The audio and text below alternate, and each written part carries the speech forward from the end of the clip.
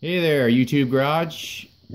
So hey, I'm uh, sitting here trying to work on my VW engine block here, and I watched a video that Easy Jeezy has put on there. It's an awesome three-part video on how to full flow your your oil, uh, you know, your case for oil. Uh, you know, it's got an outflow here that's not usually on the case. I just went ahead and did what his video said and drilled with a 9 16 so you can actually use the 3764. so I think it's what he goes through but I did a 9 16ths I think bit did it by hand like he said went ahead and tapped it with this uh, 3 8 NPT which is a tapered pipe threader tap um, and then I got this bit here this uh, 90 fitting that's going to go in there well, the purpose of my video, Easy always talks about, hey, if there's another better way or something to add,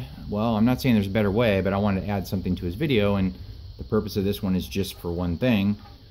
Um, he's exactly right on the fact that these cases are so soft, and I've seen a number on the Samba where I, you know, was even thinking about purchasing a case where people had tightened this thing up too tight and they crack it here and then they end up having to weld it and I just didn't want to buy a case that was welded. So anyway um so when you go in here like easy said and you put your your fitting in here and you start to turn this thing it because it's a tapered bit it uh, can crack the case easy it doesn't really have to go that far because the purpose of these things is to seal up the threads and the fitting really nice. So as you turn it and it gets really tight here, it always makes me nervous to go any further, you know, to get it all the way around where a fitting's going to go, you know, it, it, it maybe, you know, 9 o'clock or maybe you wanted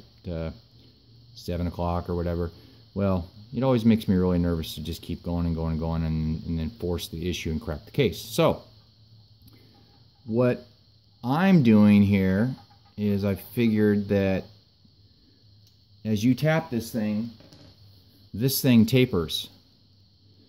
And so it, it makes this hole a little bit bigger, a little bit bigger as far as the thread pattern goes. And so what I've been doing is putting this back in and tapping it maybe one more little partial crank and what it does is it just gets the threads a little bit further because mine are pretty shallow as it is. I mean, not shallow, but like a half inch, and there's a, there's more room to, to play. So as I put this in here, I've already done some, so I'll, I'll try to, let me back it up here.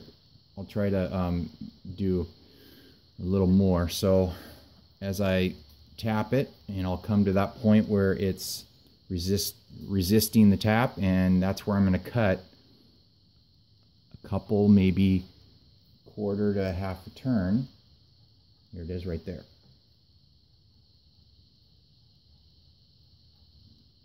Okay, and then I'll back it out.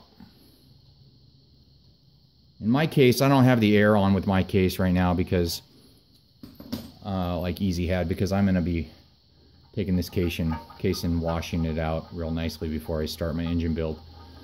But anyway, bring that out there. Blow it off a little bit. Now when I put this fitting back in, theoretically, because it always starts in the same spot with the way the threads are, theoretically it should go a little bit further.